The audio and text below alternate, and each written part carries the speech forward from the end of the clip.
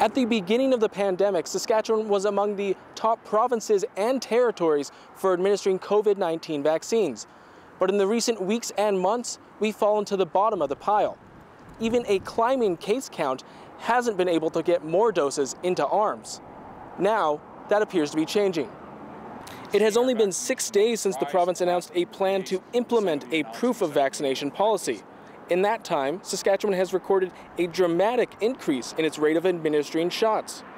More than 19,000 people have received a dose since last Thursday. That's thousands more than any six day period since the beginning of August. And an even more important factor roughly half of the jabs administered since the new policy was announced were first doses.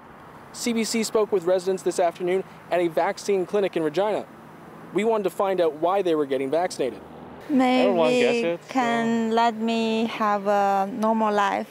My mom uh, said uh, just that it's a good idea to get it, and she she knows a, a lot about this kind of stuff, so uh, she definitely definitely encouraged me to get it. Premier Scott Moe has said that vaccinations are the only way out of this pandemic. Only time will tell if the new policy has any further effect on vaccination rates. Alexander Kwan, CBC News, Regina.